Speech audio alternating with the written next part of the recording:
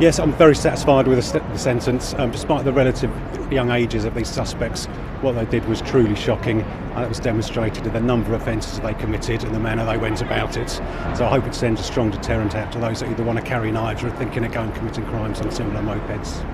Yet there'd been so many offences that night that the police were aware that there was a moped out there committing numerous offences. They were actively looking for a moped.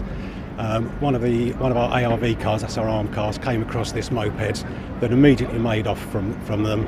Um, in fact, I think the passenger took his helmet off and waved it about to try to get them to call off the pursuit.